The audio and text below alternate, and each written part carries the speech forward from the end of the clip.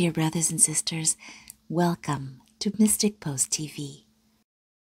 On the feast day of Our Lady of Guadalupe in December of 2022, Pope Francis said that he had experienced a special omen about the future of the world. He offered a harrowing vision of the days ahead, saying he has seen signs of an even darker time ahead for humanity. At a Mass at the Vatican, Pope Francis said that he has a dire vision for the world with omens of even greater destruction and desolation and despite the current difficult times for the world, including wars, particularly Russia's conflict in Ukraine, the rising cost of living, poverty, famine, and an international energy crisis things will get worse.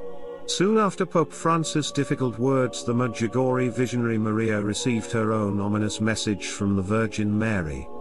In the message Our Lady warned that the future of mankind is at a crossroads. Our Lady said, Dear children, pray with me for peace, because Satan wants war and hatred in hearts and peoples. Therefore, pray and sacrifice your days by fasting and penance, that God may give you peace.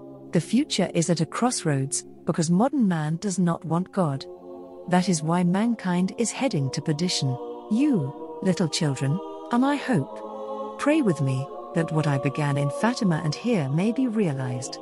Be prayer and witness peace in your surroundings, and be people of peace. Thank you for having responded to my call. The war in Europe has greatly shaken Father Livio, and within the context of the Pope's omen and Our Lady's powerful message, the great Medjugorje expert now sees that mankind is facing a terrible danger.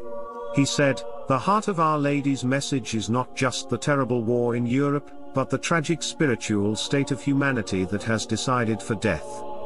The future is at a crossroads, because modern man does not want God, and for this reason humanity is heading towards perdition.